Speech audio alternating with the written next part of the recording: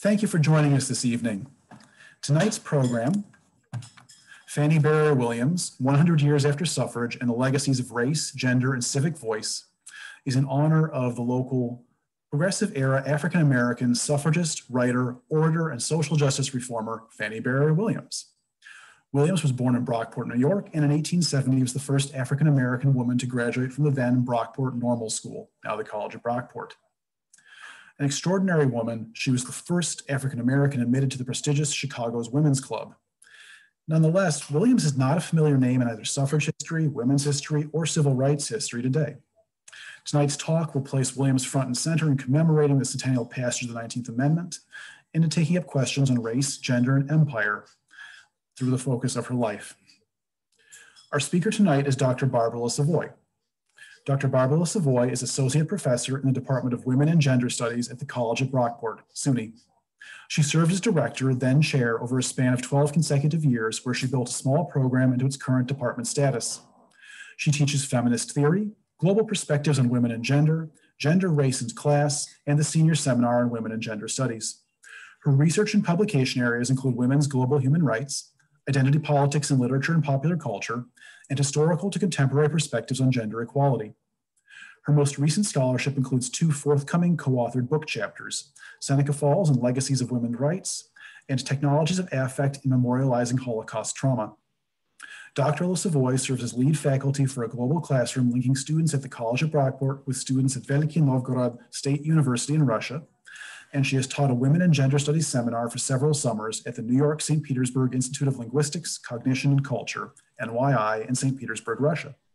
Among her many accolades, Dr. LeSavoy is the 2017 recipient of the Brockport Presidential Award for Teaching Excellence. Without further ado, I turn it over to Dr. Barbara LeSavoy. Well, thank you so much, Brandon. I'm so thrilled to be here. So just a couple of, and thanks for that wonderful um, introduction and welcome everybody. I just want to mention that my talk tonight runs about 44 to 45 minutes. I'm reading from a paper that I've written.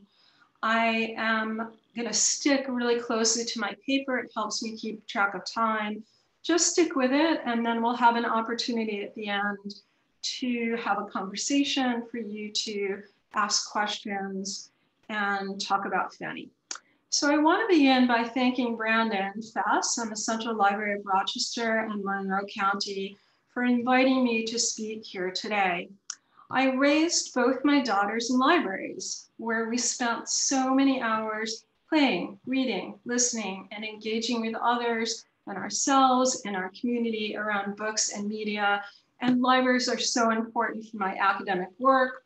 I'm grateful for the library, both brick and mortar and virtual. So I'm honored to participate tonight and partner with the library in this suffrage speaking series.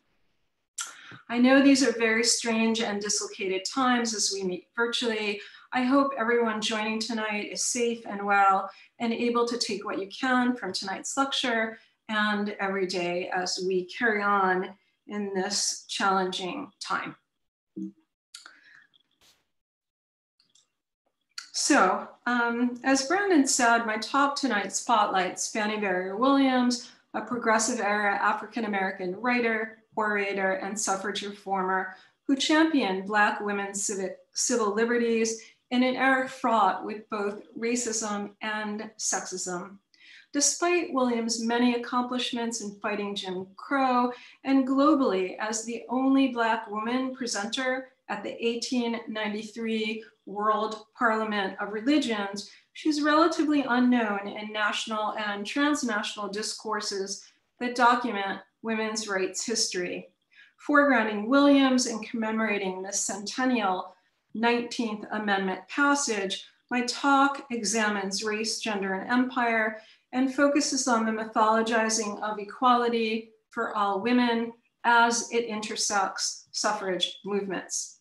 So before I jump into my talk, and my apologies because I know some of my students were present in my suffrage talk, but I'm just using a qualifier that I wrote for that talk that bears repeating here.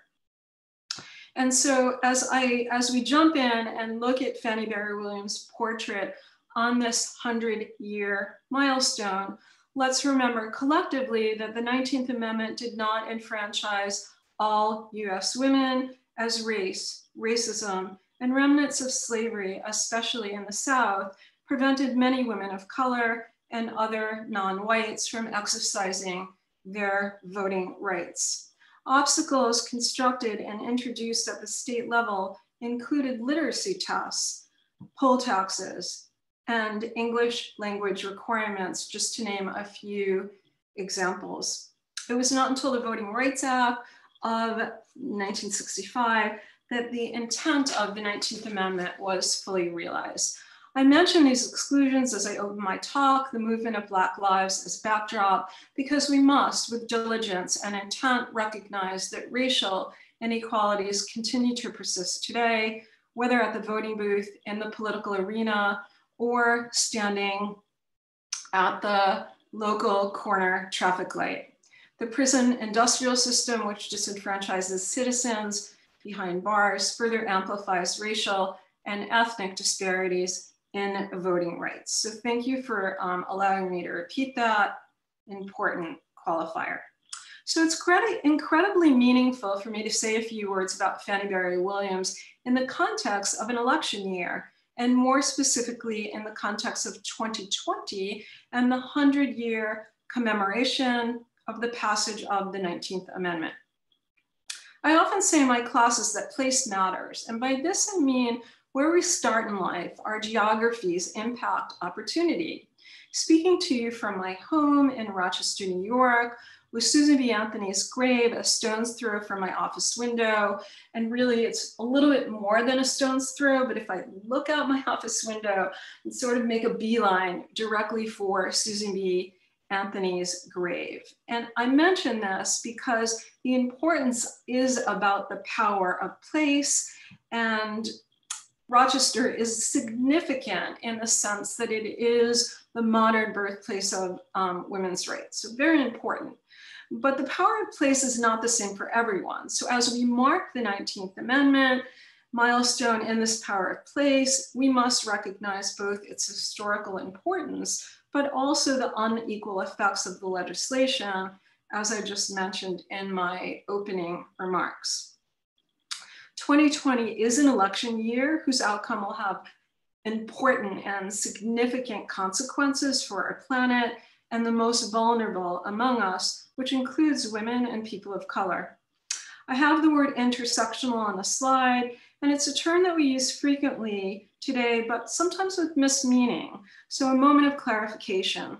When we, when we say intersectional, many think we are simply talking about the ways that more than one social category of identity, race and gender as an example, touches or overlaps. But when we say intersectional, we are more specifically talking about ways power shifts when those categories of identity touch or intersect. Thus, this is not simply the accumulation of more than one social identity category, but rather ways power dynamics shift because of these intersections. So I'm going to close my talk tonight with a word or two about intersectional thinking because it directly bears on Barrier Williams' story. So open with the framing of the word here as context. With that, in this talk, I hope to provoke discussion, inspire action, and foster community in this important 2020 watershed moment. So I speak to you today as a women and gender studies scholar where I teach, research, and write on social equality measures. But more so, I also speak as a faculty representative of my discipline, where the knowledge that we examine and disseminate in the classroom and apply broadly in the field is rooted in fighting for gender and social justice causes. From this women and gender studies vista, we understand struggle, the sense of challenge and surmounting obstacle is at the center of my discipline. My academic work seeks to explain the way systems of power and dominance operate in society, and my activism seeks to push back against exclusions that privilege some while exclude others. In no other context or circumstance is this struggle more clear than at the intersections of gender, race, and class standing, of which Fanny Barrier Williams came to understand firsthand. So she was born on February 12, 1855 in Brockport, New York, the youngest of Anthony, Anthony and Harriet Barrier. They were one of the few Black families residing in the overwhelmingly white community. Fanny's father, Anthony, owned a profitable business. He was actually a barber and um, built a real estate portfolio, and he became a leading citizen. This is in Brockport, New York, where Fanny was born. Her mother, Harriet, led a life very similar to her white female neighbors, spending most of her time raising three children and never working outside the home. The family became members of the predominantly white Baptist church in the village of Brockport, and that church is still there today. Important to my academic home, as the slide um, depicts, in 1870, Barrier Williams became the first African American woman to graduate from SUNY Brockport, then known as the Brockport Normal School. The college has long admired her story and record, and we have sought to ensure her legacy is recognized and elevated so that the public comes to know and appreciate her accomplishments. In 2002, the College Development Office inducted Williams into Brockport's Alumni Hall of Heritage. And then in 2015, the college established a scholarship and several of us now organize and hold a biennial luncheon in her memory. That biennial luncheon would have been this fall, absent of the, the pandemic. So it would have been probably right about, about now. Importantly, as pictured on the slide, we installed a permanent plaque of Williams on the entrance to the college's oldest building, Hartwell Hall, which is pictured on the slide to the left of the plaque. My goal is to raise enough funds so that we can commission a statue of Fanny Barrier Williams that's installed on our campus. It's something that we're studying as I speak. And with the important takedown of for Confederate statues across the country, it really is Fanny's time to rise and step forward so it is a really important endeavor as we see her legacy and her memory forward. So with a desire to explore the world outside of a small village of Brockport and to assist newly freed people in the South, Williams left the village of Brockport and moved first to Hannibal, Missouri. As pictured on the slide, in Missouri, she taught in the Douglass School, a segregated school for Black children. When you read about Williams, you discover that she experienced severe racism in Missouri, which was very different from her experiences in Western New York, particularly in the village of Brockport. Despite these hardships, Williams worked for nearly two years at the Douglass School before relocating to Washington, DC.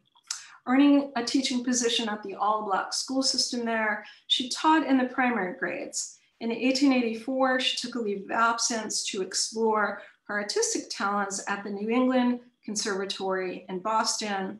And then she returned to DC and she immersed herself in her teaching career and she enjoyed the Black aristocratic culture of the city.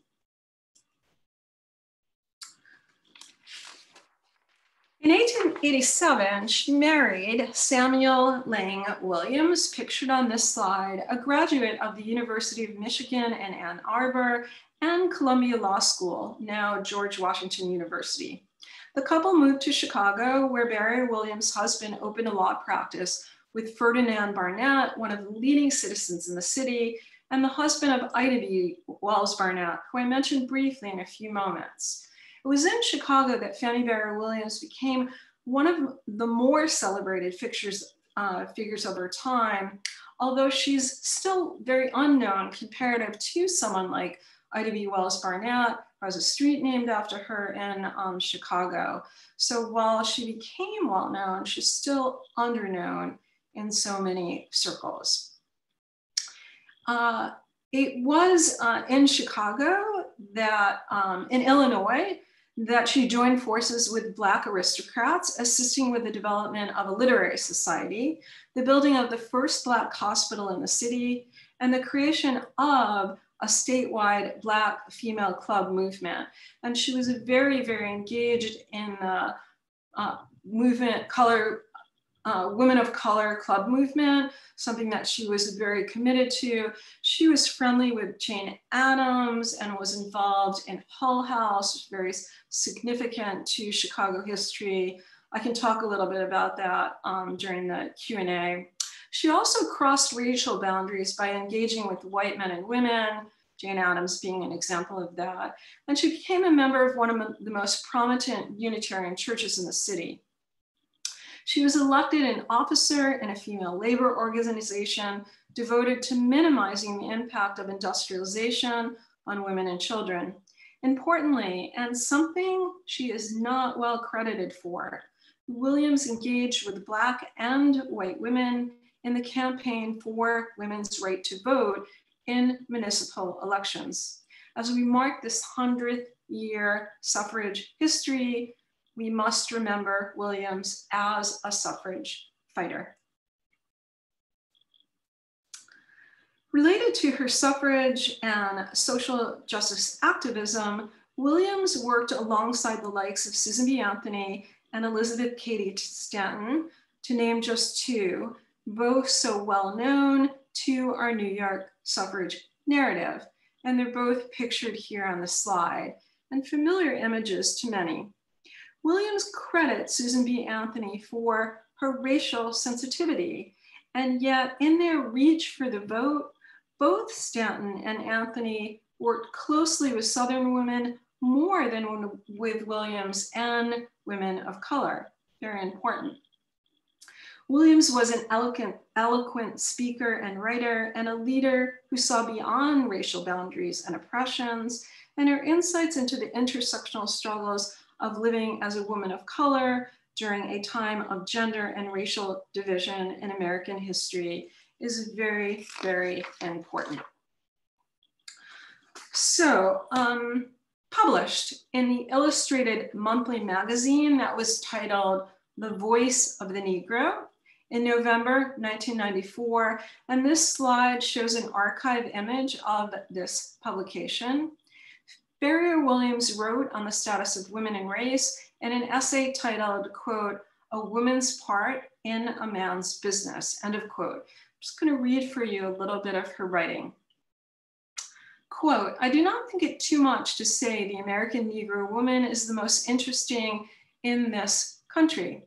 I do not say this in any boastful spirit, but I simply mean that she is the only woman whose career lies wholly in front of her. She has no history, no traditions, no race idealism, no inherited resources, and no established race character.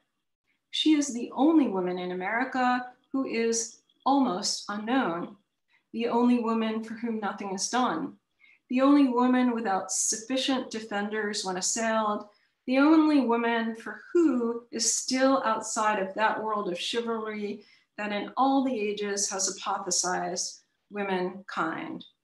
End of quote. Williams' words here, as penned in the year 1904, poignantly capture the intersecting racial and gender paradox facing Black women of the period. And despite our country's progress in reaching for sex, gender, and racial parity, many of these words still resonate with us today. Dr. Wanda Hendricks, professor of history at University of South Carolina, is author of the only biography of Fanny Barrier Williams published in 2014 entitled Fanny Barrier Williams, Crossing the Borders of Re Region and Race, as the image shows. And this is a picture of Dr. Hendricks speaking at Brockport, which was our second biennial Fanny Barrier Williams luncheon, and Dr. Hendricks was our keynote.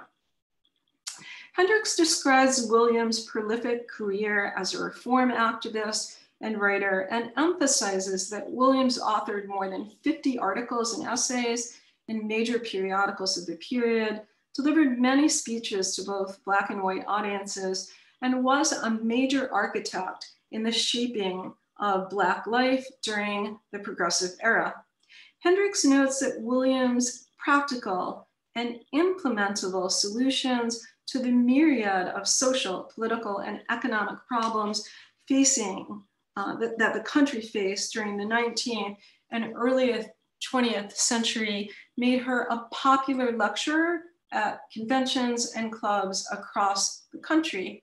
In her speeches and writings, she espoused better working conditions for laborers, the eradication of debilitating racial policies, better educational access for Black children, and an end to discrimination against women.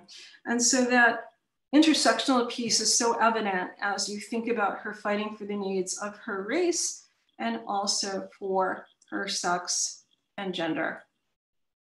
Williams was a friend and supporter of two of the most prominent Black leaders in our and her lifetime, Frederick Douglass and Booker T. Washington, both pictured on this slide. She met Douglass while residing in Brockport, socialized with him when the two lived in Washington, and hosted him in her home when he traveled to Chicago. The two often attended and presented at the same suffrage conferences. And when Booker T. Washington filled uh, the leadership vacuum after Douglass's death in 1985, Barrier Williams became a strong advocate of his popular industrial education model of teaching the masses of under and uneducated Black people as a consequence of being denied access to educational resources. Several Black intellectuals, such as W.E. Du Bois and B. Wells Barnett, publicly criticized Washington's model, as well as what they argued was his acquiescence to Southern white supremacy. Barrier Williams, a trained educator and intellectual herself, became one of Washington's primary defenders, but she, like Washington, faced criticism in this realm. And this is an image of Du Bois and Ida B. Wells Barnett. I want to mention that in relatively a, whole different topic or whole other arm, there's a lot written about Washington and Du Bois having um, different points of view, but there's also a lot of intersections in their work. So the fact that Barrier Williams defended Washington did not mean that she was abandoning um, some of the principles of those that Du Bois um, argued, which was more for higher education, whereas Washington was more for practical education um, for um, supporting the workforce. Related to Washington, one area that Barrier Williams wrote and spoke on were the labor restrictions African and American women of the period faced, and some questioned her gender and abolitionist position in this regard, sort of related to her support of Washington. Williams' writings are complex in this regard, and I want to take a moment to consider a couple of examples. I just realized that there's this really weird um, Chuck image on the slide, and in that, what should be in that image my apologies. You never know how this is going to translate. Um, is the, um, the name of the author of the book that you're hearing, that you're seeing rather. Um, Williams' writings um, are collected here. So I have pictured on the slide is The New Women of Color, the collected writings of Fannie Barrier Williams um, in the period of 1830 and 1918. And in that checker box is the editor, her name is Mary Jo Deegan, and it is the date of the publication, which is the year 2002. So importantly, this preceded Dr. Hendricks, Wanda Hendricks' biography of Barrier Williams. And the preface of this book does give you some biographical information about Barrier Williams, so it's important, but it's really more of a resource and a collection of her writings and very valuable um, in that regard. So both Wanda Hendricks' book and this book are important contributions as we remember the legacy of Barrier Williams' work. You can examine much of Barrier Williams' writings in this collection. And right now I'm gonna read to you um, a quote from a piece titled The Problem of Employment for Negro Women as an example of Barrier Williams' writing on African-American women and domestic labor. Quote, I do not wish to be misunderstood as advocating the restriction of colored girls to the house service, even when that service is elevated to the rank of a profession. My only plea is that we shall protect and respect our girls who honestly and intelligently enter this service either from preference or necessity. It seems to me that we lose a great opportunity if we fail to take hold of this problem in a thoroughly broad and philosophic way and work out its solutions. And so it's a very nuanced, sophisticated way that we look at the need to work. Uh, quoting Deegan, Barrier Williams was not advocating Washington's position, and Deegan writes that of acceptance of restricted lower status. Rather, Williams argued on behalf of survival techniques and an intellectual and philosophical approach to broaden the options for women who were, and it's my own emphasis on the word were, restricted in their choices. Along these lines, some scholars argue that Barrier Williams was an elitist and point to her earlier versus later speeches and writings as evidence. I would argue that these early to later shifts in tone are better attributed to the differences between an emerging versus a more informed and developed voice as both speaker and writer. And this is something I and many scholars like Williams can easily relate as we begin our careers and then we become more informed and secure in our own voice. So here's an example of a later piece of writing from a piece called titled Colored Women of Chicago. And she penned this in 1914. So it's a decade later than the, the example I just read from 1903. Quote, the women who work with their hands in the humbler walks of life as cooks, house cleaners, laundresses, caretakers, and domestics. One of the most interesting sights in our public streets in the early morning hours is the large army of colored women going in all directions to their day's work. These women deserve great credit for their eager willingness to aid their husbands and helping to provide a living for themselves and their families. A comparative as comparative analysis, many labor socialists and suffrage fighters in Europe and Russia, as example, argued that to be closer to work was to be closer to liberation. So the context of race, and more specifically, emancipation from slavery, complicate, complicate this, this for activists like Barrier Williams, who straddled an intersectional battle for both gender and racial equity. A related but very important note is the context of this piece in 1914. Chicago women had just won the municipal franchise. This is important here because as Deegan notes, Barrier Williams saw this as a victory for growing civil rights of African American people, both men and women. And so while she was writing about the significance of women's labor as contributions to the household, at the same moment, with her strong involvement and advocacy for women of color in the club movement in Chicago, she saw the municipal suffrage milestone as one that would lift up women and help them combat both racism and sexism. Sorry about that. Um, and I, um, yeah, and I, I don't know where that like little snippet came from, but I'm sorry about that, um, that slide. So related to her allegiances with Washington, Williams appeared in several publications with him as this slide documents. And she wrote articles praising him and his industrial model. Again, while this might be one area of critique on Barrier Williams, her connection to Washington made her a very powerful Black woman of the era.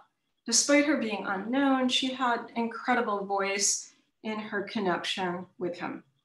So adding to what were remar many remarkable first, Williams was one of a small group of Black women who spoke at the World Columbian Exposition in 1893, also known as the World Fair in Chicago.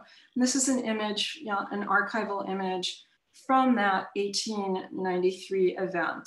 So these are some of Barrier Williams' closing words at the Columbian Ex Exhibition in 1893. Quote, that everywhere in the wake of enlightened womanhood, our women are seen and felt for the good they diffuse. The Congress will at once see the fullness of our fellowship and help us to avert the arrows of prejudice that pierce the souls because of the color of our bodies. End of quote.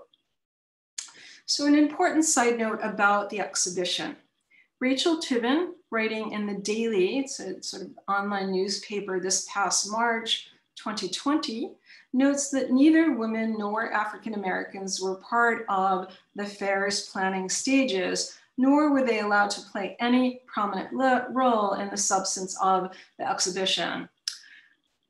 As a supposed compromise, the all male, male Board of Governors approved what was the Women's Building as a substitute and a Board of Lady Managers as a consolation prize for denying women even one seat on the board. And the board was, and the fair, I should mention, the fair was supported by government.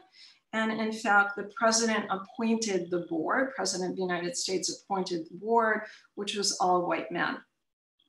White women's limited role in the fair didn't make them sympathetic to the near total exclusion of African American women and men. Historian Ann Masser writes that when Black women requested a seat among the 150 lady managers, the white women refused them. They complained that they couldn't pick from among several groups of Black women, activists, and thus would seat none at all. And those several groups of women included Fannie, um, Ida B. Wells Barnett, who've mentioned Mary Church Terrell, to name just a few of the prominent women of color voices at that time. They ultimately offered an unpaid secretarial role to Fannie Barrier Williams, a college graduate and an accomplished educator. She was unhappy with this sort of token, but she took it because it was literally the only professional role a Black woman could fill at the exposition. And it is an example also of ways we take little pieces of the pie as we're also reaching for much bigger and important shares. Adding to impressive first, Barrier Williams was the only Black woman who was a presenter on the main program at the Parliament of Religions in 1893, as I mentioned in my opening comments.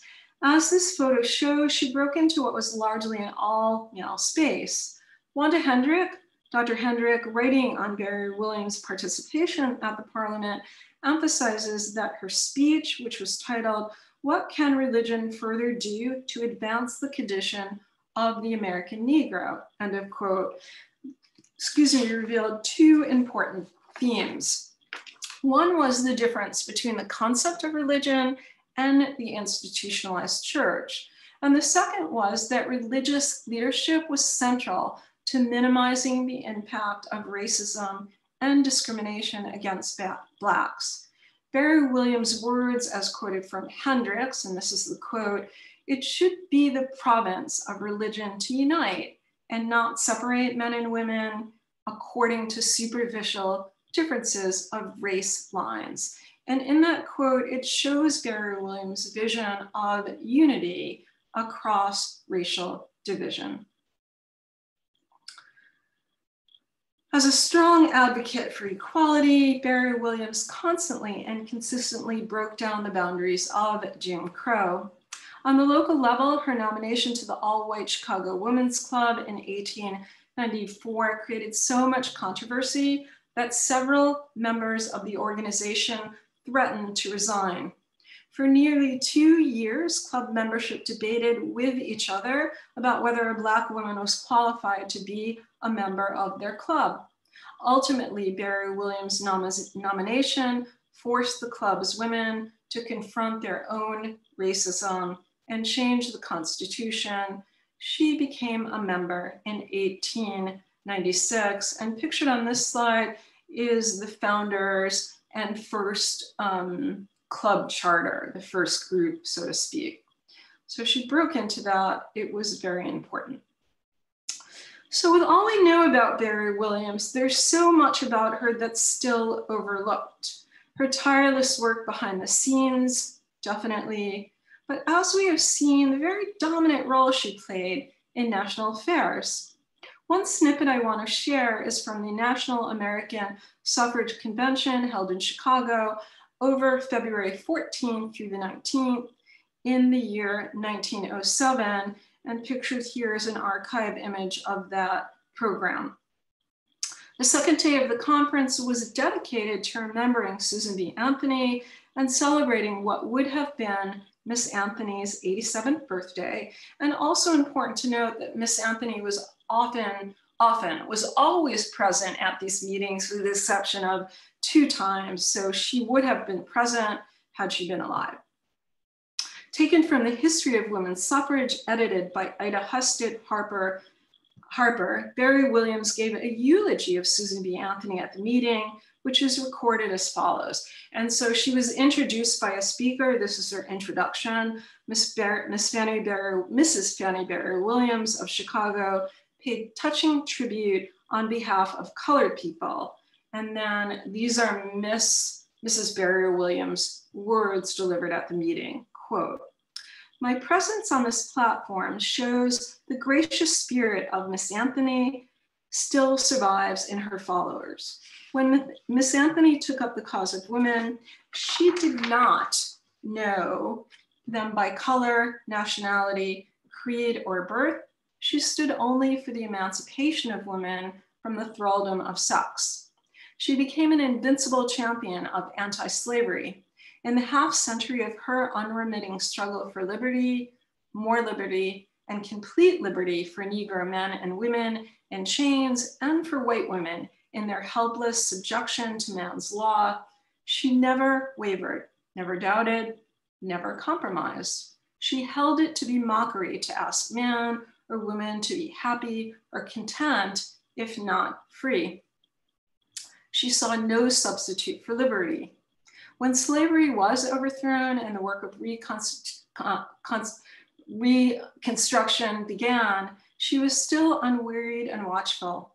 She had an intimate acquaintance with the leading statesmen of the time.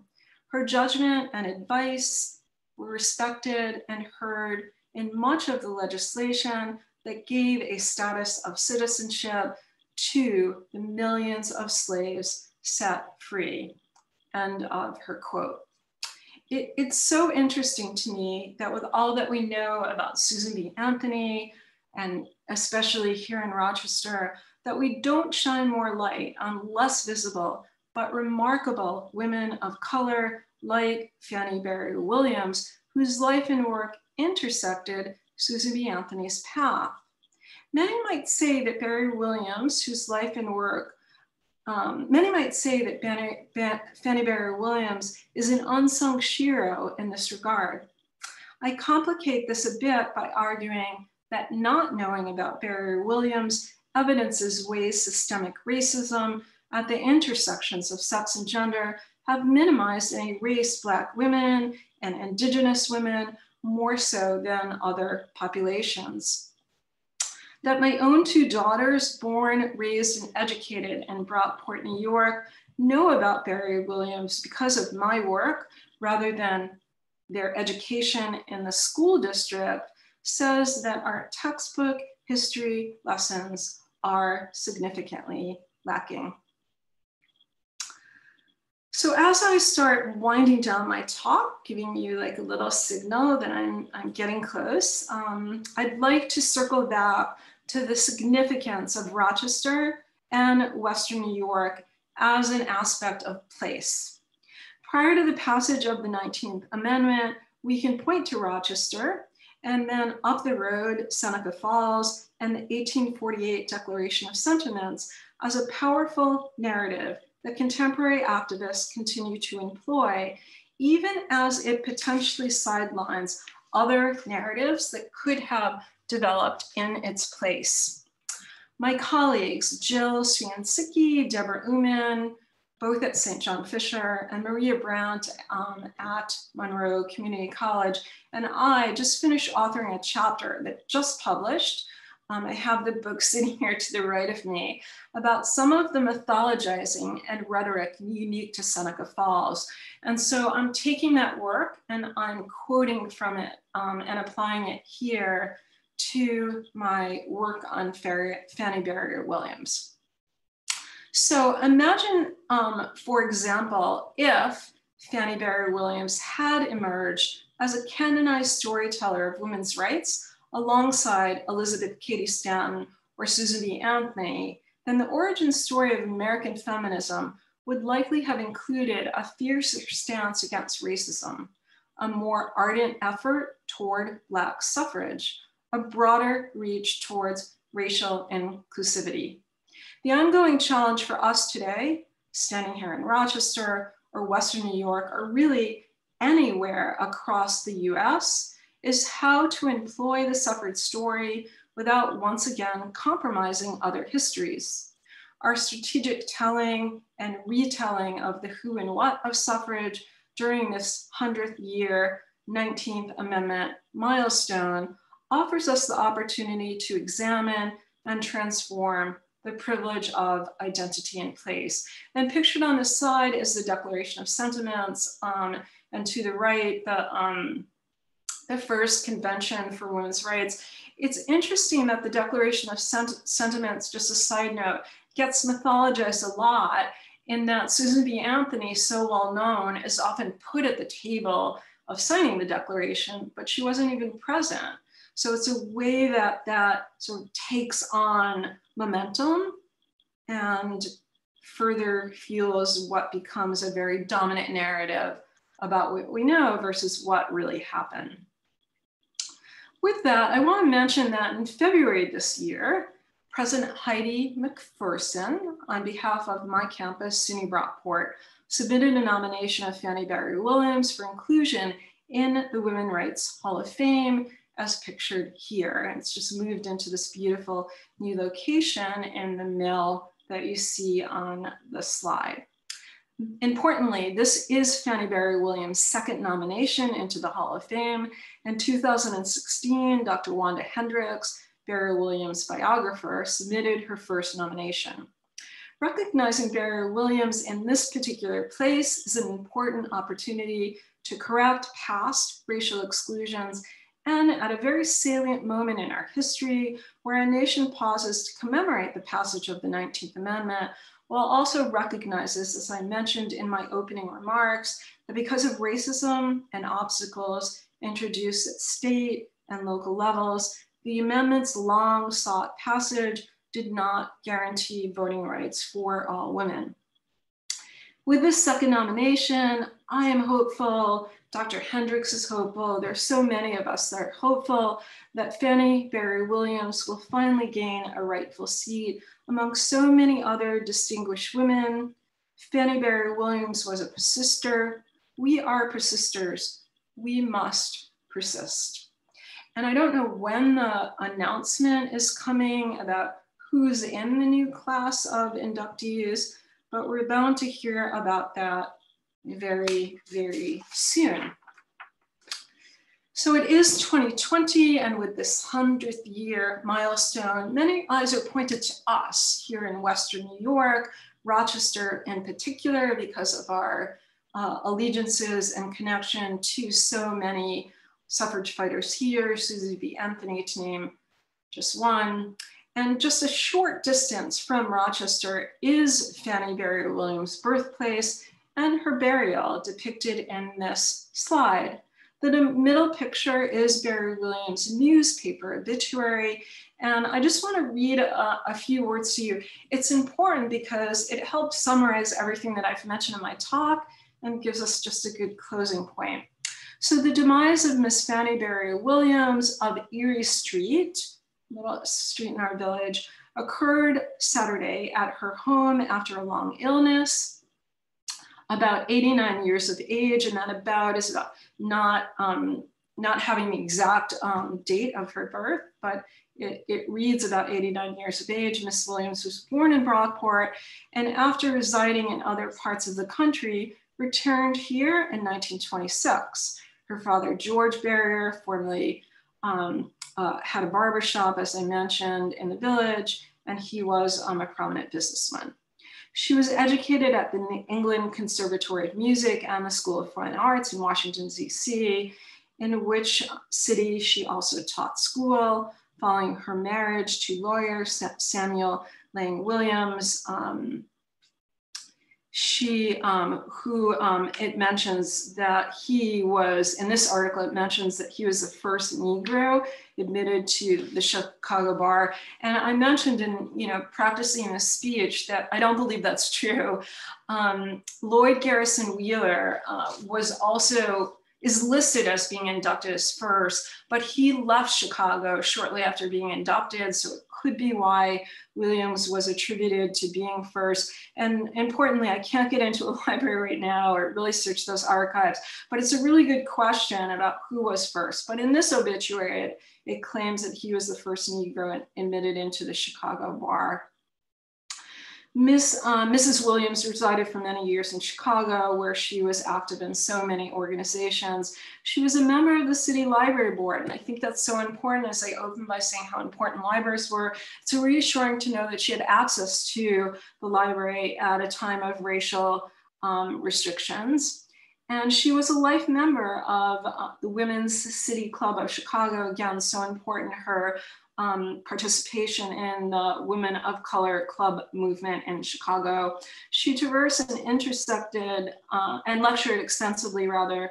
And she, at the time of this obituary, she was survived by her sister and a niece. And it says few funeral services were conducted Tuesday afternoon at 2 p.m. And she is buried in Brockport Cemetery. And there you see her gravesite, and next to her is her sister Ella.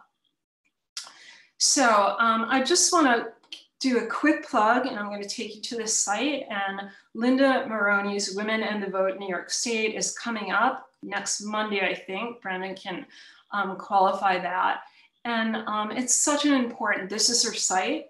Um, prior to this site, I should mention that Linda um, produced a film um, which documents importantly the, the pilgrimage of of everyone in 2016 going to Susan B. Anthony's grave and leaving their I voted sticker. And it's a remarkable documentary, very, very important.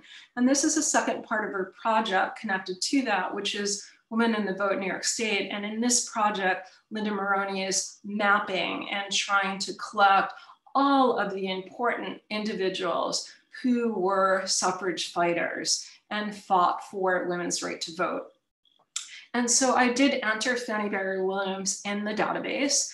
Um, I just want to thank Linda Moroney for cleaning up what I entered. I entered it rather quickly and wanted to get it on the map.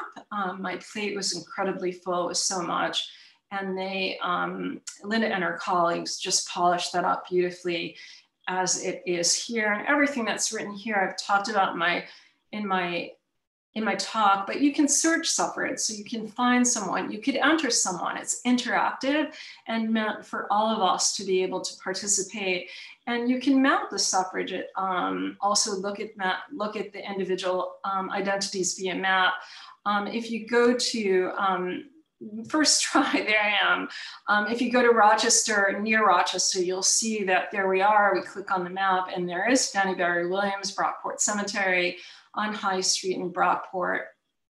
And so it's just a very incredible project.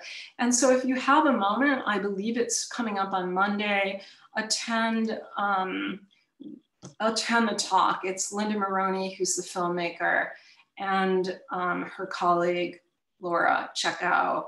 And they are, um, their work is just remarkable. So I'm happy that Barrier Williams is now mapped into the project and part of that um, and hope that this will get her more visibility and oops, um, better now. So I actually am really closing um, now uh, and want to just say a few words uh, summary. So with all of her successes and impressive border crossings, scholars and the general public still know little about Fannie Barrier Williams and there's so much more I could say about her. So in the, in the confines of this talk tonight, I have tried to summarize for you some of the very important highlights about her, but there's so much more that's remarkable about her. I want to change the, that, the fact that we don't know about her. So as I speak with you tonight, and as we go forward, I want to spread the word about Fannie Barrier Williams' many extraordinary accomplishments and to document the many social justice and gender justice legacies that live on in her name. In this 100th year suffrage milestone that is for white women, let's lead the way, tell a new story, change the script, remedy past wrongs. We can and really must interrogate differential gradations of citizenship, freedom, political agency, and civic voice as stratified by race, gender, sexuality, immigration, class, and other social categories of identity. Fannie Barrier Williams did so courageously and with remarkable foresight. Brent Staples, writing on Fannie Barrier Williams for the New York Times in February 2019, captures Barrier Williams' words in this context. Quote, Black women had unique needs that were defined as much by race as they were by gender and region. This is precisely the intersectional framing that we must be conscious of and understand today. So as a collective community here as part of the Rochester Monroe County Library System in New York, I'm proud to salute Fannie Barrier Williams. She was a leader, an orator, an intellectual, a sociologist. She was brave and articulate. She was kind and compassionate. Fannie Barrier Williams, let's say her name, know her impact, and tell her story. And so I started uh, back in February a Twitter handle, hashtag FBW remembered. I don't tweet, um, but I would encourage all of you who do tweet to tweet out and get the word out about her. I would also say, tell one person about her that doesn't know about her and ask that person to tell another person and spread the word because it really is upon us to now make the effort to really change the script and become more informed of individuals like Fannie Barrier Williams, who so, so um, admirably contributed to our gender, gender and equal rights. So thank you again for this honor to speak today. I'd love to open the floor for questions and I'd be particularly honored to have a conversation with you and to get your thinking about um, Barrier Williams, because it's one thing to be able to say, here's my reading of this, um, but it's so much more important as we think about what, what are some of your thoughts about her? Did you know about her? I was saying to Brandon when, when we were chatting before the talk, if I were to give the talk in person, I would have paused multiple times and perhaps posed a couple of questions, engaged in dialogue with you as I was speaking. And now's an opportunity to think about ways that um, we, you can contribute to the conversation. So I'll take questions and I wonder if I should stop my screen share. Um, Brandon, I'm gonna do that. Um, I can always go back to that if anybody wants to look at that again. Um, so I'll stop the screen sharing so that you can come in and see me. And then, um, yeah, so I'm looking at the chats. Um, I just want to mention briefly before we go to the question and answer, um, the program that uh, Dr. LeSavoy mentioned next week that Linda Moroney will be part of is called Women in Politics, Continuing the Work. It's next Monday, October 26th from 6 to 8. Um, I put a link to register to it in the chat. Uh, we have lots of seats available. I'd love to see more people come to it. Linda is part of a real blue ribbon panel. Will be speaking that night. Yeah, and the film that I sort of blocked on is called Election Day. That's the 2016 film that documents the pilgrimage to Susan B. Anthony's grave. Any of my students that are present, I'm going to be showing you that film in my class so you get to see it. Um, but yeah, so I see a question um, from Melinda um, that I'll just sort of start with. Um, many suffragists and lecturers are not well known as Susan B. Anthony, Elizabeth Cady Stanton, and locating manuscript materials is, is more difficult given that much is not digitized and transcribed online, yes. In researching Fannie Barrier Williams' life, what was your approach to locating her published writings? um, correspondence and archives. Yeah. So I want to say the most important thing is um, uh, Mary Jo Deegan's book, um, and this is her collected writings. So that's um, there for you. But also, you know, I have a little bit of an upper hand because I've done research on um, Barrier Williams before this talk, and so I had sort of already dug into and collected those archives. Um, I've written to um, editors who anthologize feminist theory, and I've asked them to include particular pieces of Fannie Barrier Williams' work. So that's another way that we could sort of use it in our teaching. We all use anthologies in our teaching.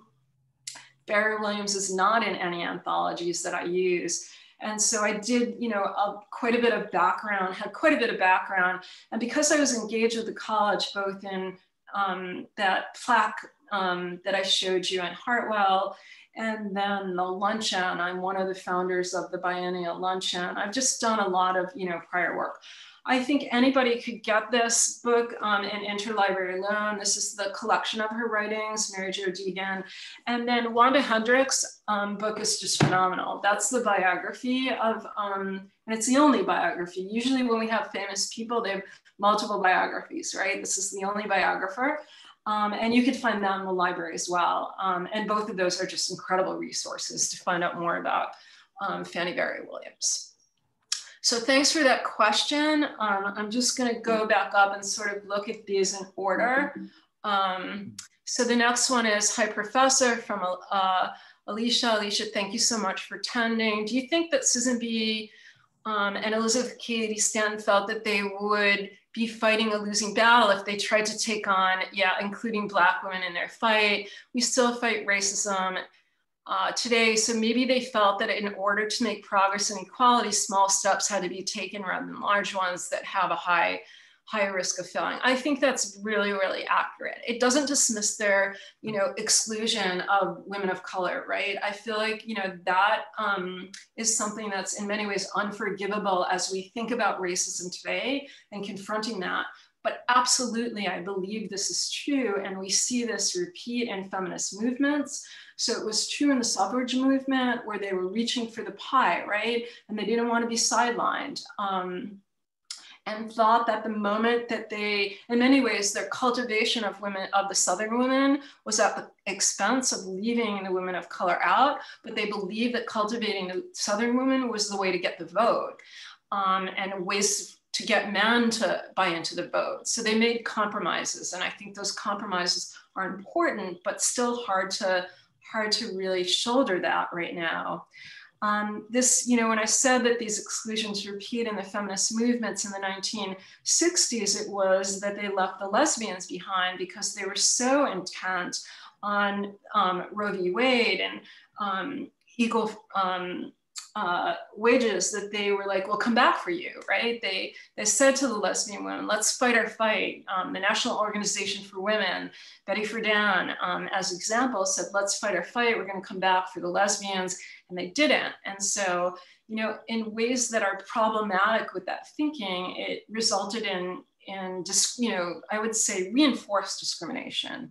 Um, so, you know, retrospect, it's a postmodern reading right now. We're, we're thinking about this today. So it's easy to be critical of that um, as we stand here and analyze that today, but such an excellent question. So from Adriana, why do you think Williams is not known more in the history, especially on the local level?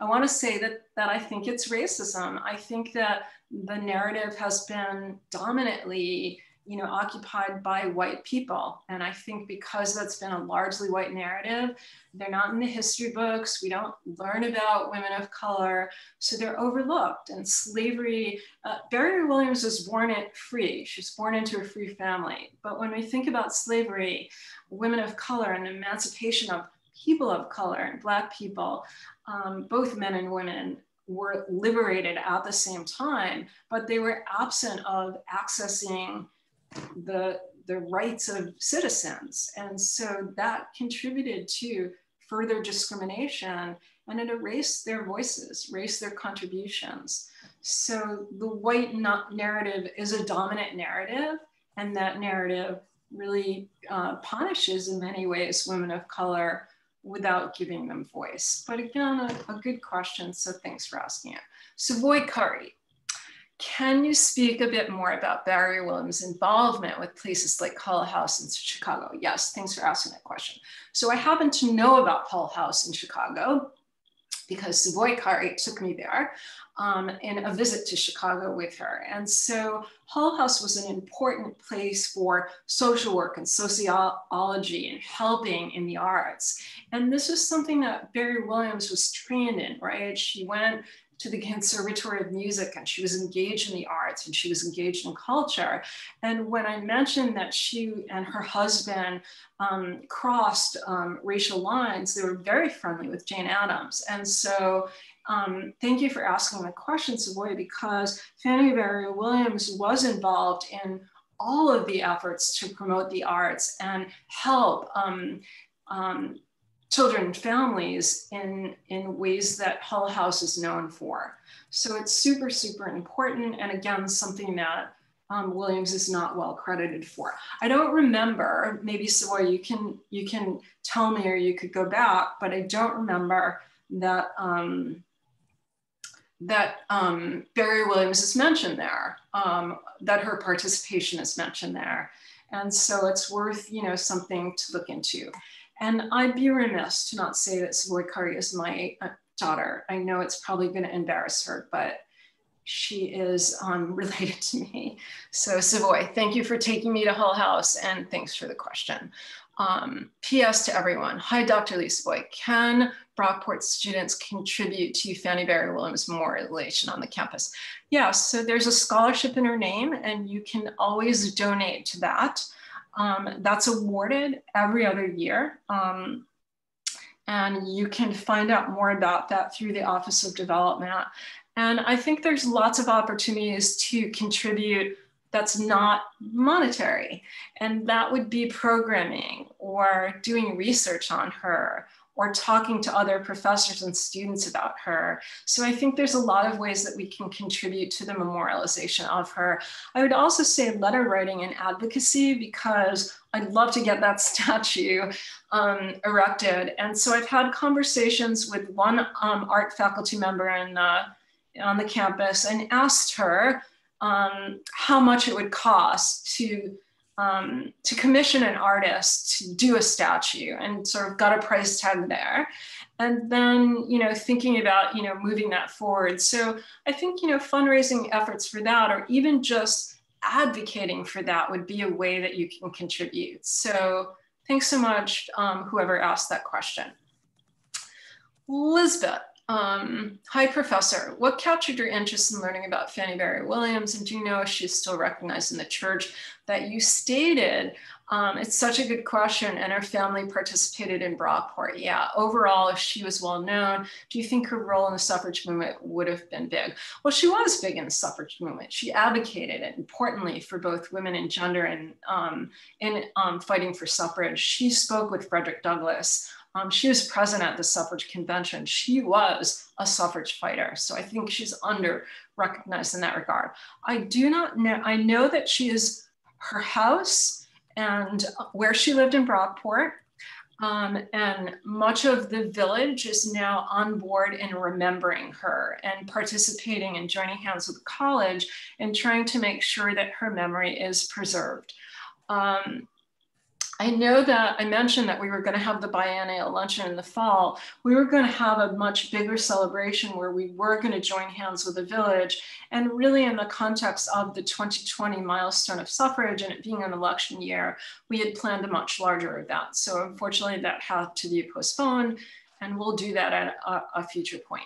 So in question about the church, I don't know. Um, I don't know if the Baptist church has any memorial that recognizes her, but it's a wonderful question that I should follow up on and discover um, because the church is there. So thanks for asking that.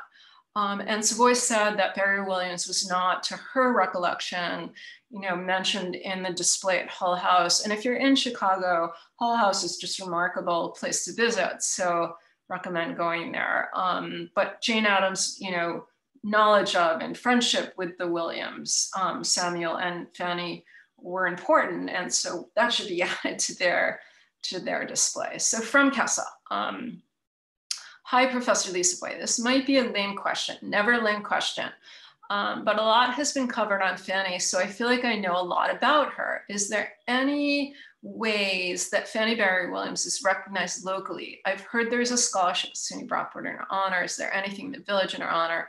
I know we can contribute to getting a statue of, on campus of her. So the one, you know, we know that there's the annual Fannie Barrier Williams lunch biennial. That's every other year. And that's all that I know about. Um, I know that in every opportunity that we can, we talk her up. And so when we're programming for things in the student union, we try and remember her. Um, but we could do a better job. I want to say we could all do a better job. So as students, you have an incredible voice and you could talk to your student government, you could spread the word, you could write a newspaper article. There's a lot that you could do to really help um, bring the cause forward. So yeah, I think there's much that we could all do to, to get her name out there and make it at level with um, the important suffrage fighters of which she rubs shoulders with. So, um, Kessa, thanks for your question. Um, from uh, Natea, hi professor, how has um, a woman like Fannie Barrier Williams inspired you, if at all, as a woman say, oh, she's such an inspiration. I mean, first of all, every time I talk about her, I'm just in awe of her words.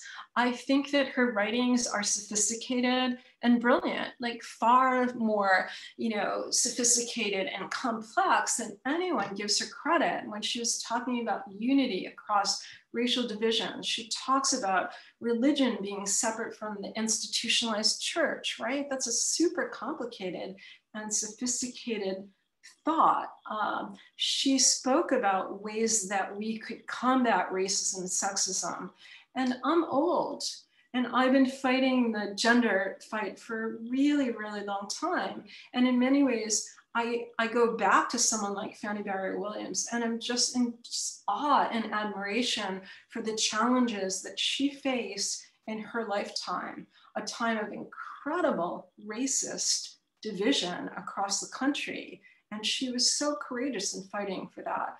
So she's inspirational to me. When I mentioned that I've written to editors of anthologies that I use in teaching feminist theory, it is with the effort to try and change ways we remember, right? And ways we remember about whose voices get visible and whose voices don't. And so it is my goal, at least in my lifetime, to try and change that, that menu. And then um, hi again, Pablo. Pablo, thank you so much for coming. Um, do you know much about her relationship with suffragists other than Susan B. Anthony that were more open about the exclusion of people of color and their racism. So I know that, um, you know, I mentioned that she was um, connected with Washington and Frederick Douglass. Um, she was connected with Ida B. Wells Barnett who wrote on lynching, and she was connected with Mary Church Terrell. And Mary Church, Church Terrell wrote on lifting up the race through education. So those are two very, very prominent people. She was involved with other people of color. So absolutely. Um, and I just don't have their names in my in my head right now. But I could grab Wanda's book or Mary Jo Deegan's book and start naming them. So she had a circle. They were um, a collective um, that were very much engaged with each other around the women of color club movement. And the club movement then was very active in the sense of moving the agenda forward for the inclusion of women of color. And in suffrage um, context, um, and this is true across the United States, that in many states, municipal elections preceded the right um, to, for the 19th Amendment, the federal passage. So that push for um, suffrage at the municipal or being franchised at the municipal level is super, super important. And so she was super engaged in that with many other women of color. Um, and yeah, it's a great question. And want, I need to go back to my books to name all of them. Um, but Mary Church Terrell and um, Ida B. Wells are really important. And Du Bois and, and um, and Washington and her connection with Washington. And another example of how sophisticated her writings are, if you want to drill that down to say that, you know, Washington was supporting industrial education, well, I would argue that Fannie Barrier Williams was supporting the necessity of work and education, right? And there's an important um, uh, labor intersection here that's very sophisticated um, and very connected to the labor movement. So again, like such an important piece of her work. Um, Cameron, did you have a question or are you back? okay, I don't, I don't know if um, she sent, you sent it earlier. Can you say it again or can you talk? Can, Brandon, can people talk? Not a meeting. Absolutely. Uh, feel free to unmute yourself if you want to jump in the conversation. Um, Cameron, so I'm going to answer Andrea's question and then come back to you. Do you know what made her come back to Brockport? Well, her husband died. Um, so it was after her husband passed away. And I believe she just wanted to return to her family. Um, I, I think that that was her sister was alive. And so she returned really to be closer to her family and her roots. Um, and she lived, you can go by her house on Erie Street. So I think it was the absence of, you know, her husband and not wanting to be alone. Yeah, I believe that's what Wanda Hendricks noted in her biography, but it's also something that's that's unknown, right? We know her as, you know, active in the circles of Chicago and um, all of the important connections she made there. And yet we don't really recognize her as coming back to our village and our campus and closing out her life. So important.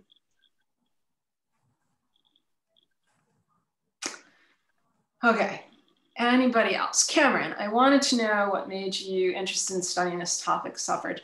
Well, you know, um, Cameron, I'm, it's my work, um, sort of what I do. I'm a women and gender studies scholar. Suffrage is part of our history. We understand the first wave of feminist um, movements as the early suffrage movement in granting women the right to vote. And that was in the 1800s leading up to the passage of the 19th Amendment um, and having civic voice, the importance of civic voice is so important. In many ways, we attribute some of the inequalities, gender inequalities, to the separation of public and private, and that men got a larger share of the public sphere, which really allowed patriarchy to, to stick. So as we think about the importance of civic voice, it is about voting and exercising that right. Um, this is an election year, and I mentioned in my paper, it's an important election year. And so I would encourage all of you to go out and exercise your voice and think about how hard women have fought for that right to have civic and political voice, and particularly how hard someone like Fannie Barrier Williams has fought.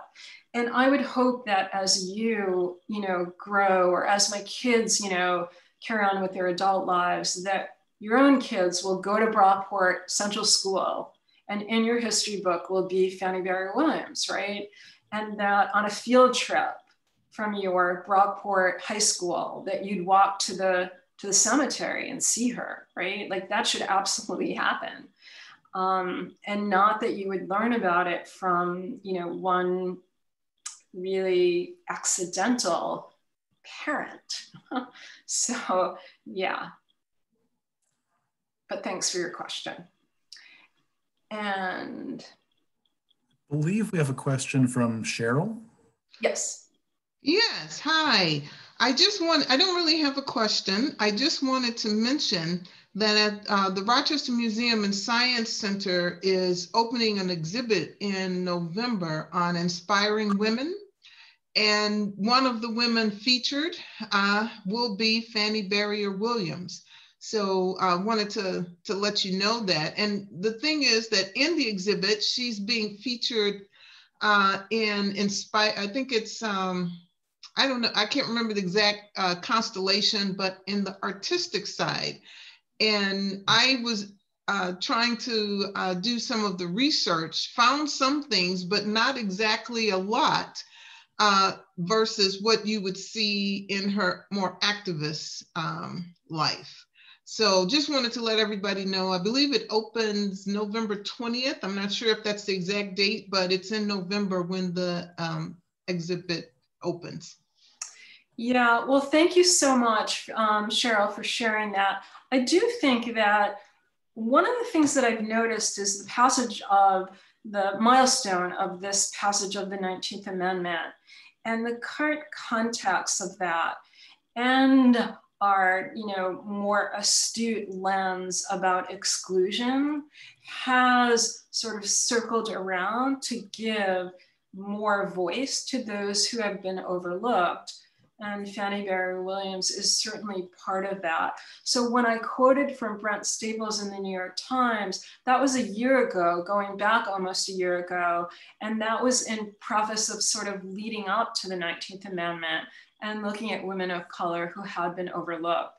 Um, and so it's reassuring in some ways and so important to know that there are, that we are making headway in that regard. And indeed, there are um, so much more that we could do, but I'm grateful to know that she's being that she's being profiled. I'd love to see see when I think about Susan B. Anthony and Elizabeth Cady Stanton, and I admire their work, so I don't want to at all allude to the fact that I don't admire their work. But I do wish that we could, you know, make a museum that that keeps the the artifacts about Fannie Barrier Williams. And in Brockport, we have, you know, a place that we could go. I know the Brockport Historical Society has a display on her. Um, I'm not sure who the local historian is now, but I know that that has been included. Um, so yeah, but thank you, Cheryl. I'm glad to know that. It's reassuring. And this is the exhibit. Thanks, um, um, Brandon, for putting that up there. So yeah, I want to say, like, say, you know, with all of your questions, I want to say tell someone about Fannie Barrier Williams. Find out more about her, learn more about her, Twitter her. That hashtag is for all everybody who tweets, tweets, right? So you could go out and you could, you know, say like, here's, you know, something I learned tonight about Fannie Barrier Williams. That would be a great way to to get the word out. Just so so remarkable. So yeah, I'm inspired by your comments and her work.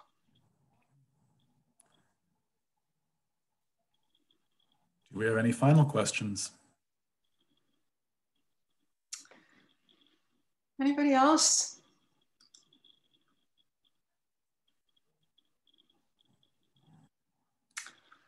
Well, thank you so much, everybody. It's always a pleasure to be able to talk about things that I'm interested and excited about.